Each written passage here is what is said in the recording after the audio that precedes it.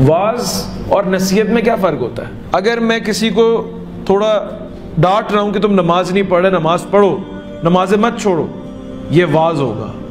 और अगर मैं किसी को बोलूँ कि तुम्हें पता है इस नमाज़ का कितना अजर है तो ये वाली नमाज़ पढ़ा करो, इसको बोलेंगे नसीहत। नसीहत में प्यार भी होता है, नसीहत में ज़रा एक नरमी होती है, नसीहत में खाली आप एक पॉजिटिव चीज़ की तरफ़ लोगों को जो है वो गाइड कर रहे होते हैं इनक्रेज कर रहे होते हैं। जो वाज है ना, वाज।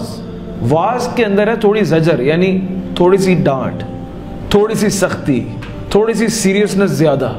यानी किसी चीज़ को अगर छुड़वाना हो या बंदे को ठीक करना हो किसी चीज़ के हवाले से तो उसको बोला जाता है वाज। तो पॉजिटिव साइड पे अगर किसी को आप कर रहे हैं या किसी खैर के अंदर काम ज़्यादा करवा रहे हैं तो उसके, उसको नसीहत बोला जाता है अरबिक में, और अगर किसी हराम काम से किसी को निजात दिला रहे हैं, या किसी नहीं अनिल मुड़कर कर रहे हैं तो उसको हम वास कहते हैं अरबिक के अंदर।